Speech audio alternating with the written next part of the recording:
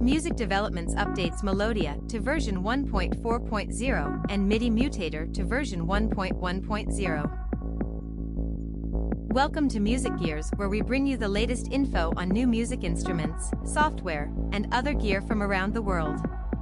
Music Developments has updated Melodya to version 1.4.0 and MIDI Mutator to version 1.1.0. The new updates include a major UI rewrite and some new features.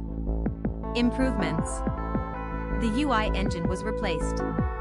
As a result, Retina screens are also supported on Mac OS. Render driver setting added. Timeline range selection implemented. Control drag on the timeline to make a selection. Mac OS, invert scrolling direction and emulate right-click settings added.